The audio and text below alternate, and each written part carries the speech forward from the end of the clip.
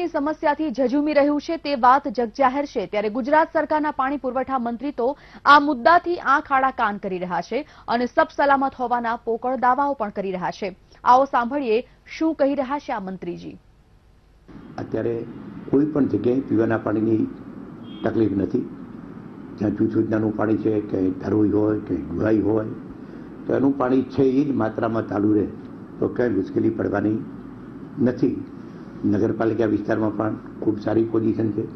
ગ્રામ્ય વિસ્તારમાં પણ જ્યાં જરૂર પડે, આજની તારીખમાં સમગ્ર જિલ્લામાં એક પણ ટેન્કર ચાલુ નથી. લગભગ શરૂ કરવાની જરૂરિયાત પણ નહીં પડે.